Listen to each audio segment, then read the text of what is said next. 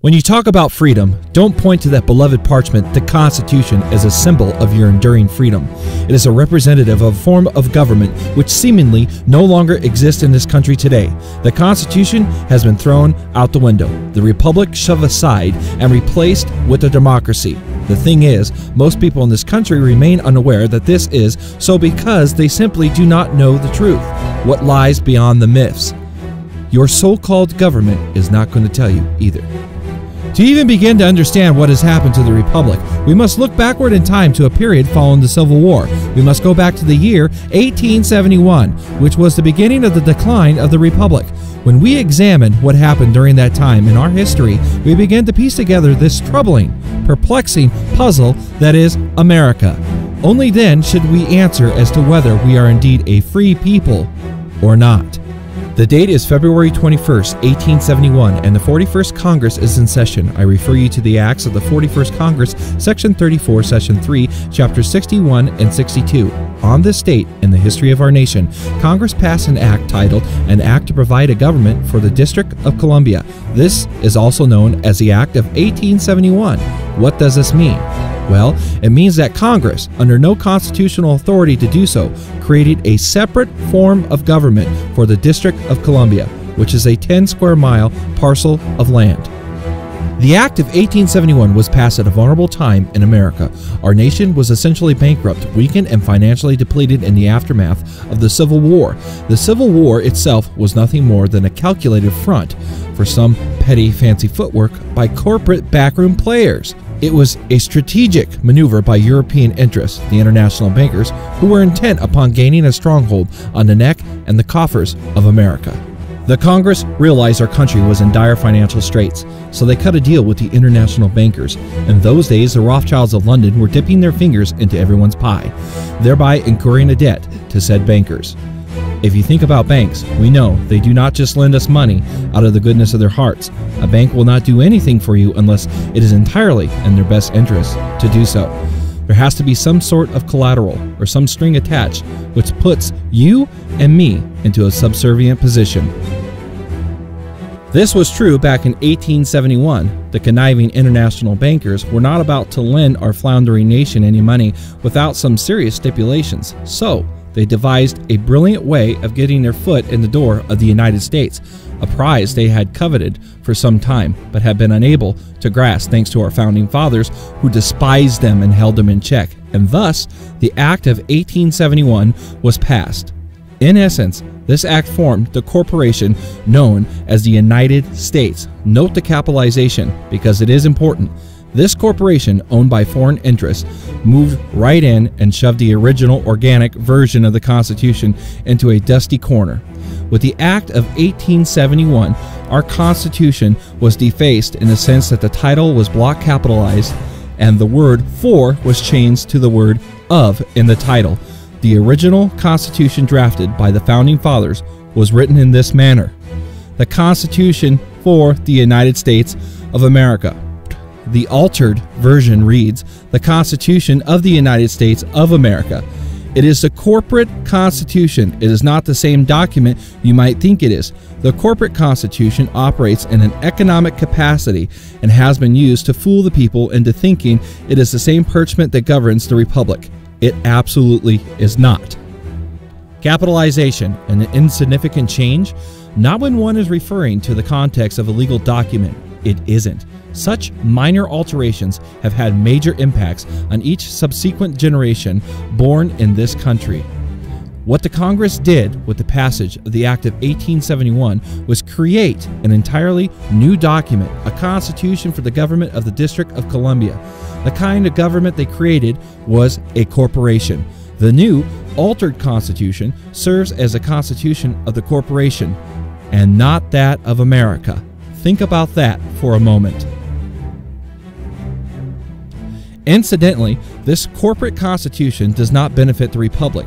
It serves only to benefit the corporation. It does nothing good for you or me, and it operates outside of the original constitution. Instead of absolute rights guaranteed under the organic constitution, we now have relative rights or privileges. One example of this is the sovereign's right to travel, which has been transformed under corporate government policy into a privilege which we must be licensed to engage in. This operates outside of the original Constitution. So, Congress committed treason against the people, who were considered sovereign under the Declaration of Independence and the Organic Constitution. When we consider the word sovereign, we must think about what that word means. So, what does sovereign mean to you?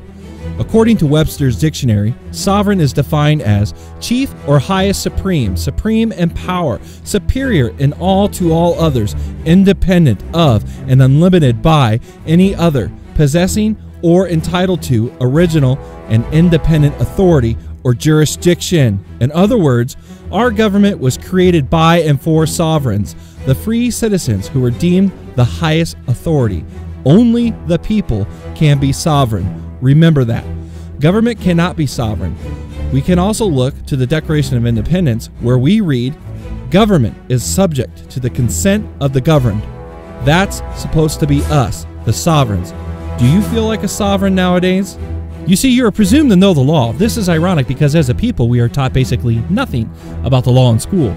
We are made to memorize obscure factoids and paragraphs here and there, such as the preamble, and they gloss over the Bill of Rights. But we are not told about the law, nor do our corporate government schools delve us into the Constitution in any great depth. After all, they were put into place to indoctrinate and dumb down the masses, not to teach us anything.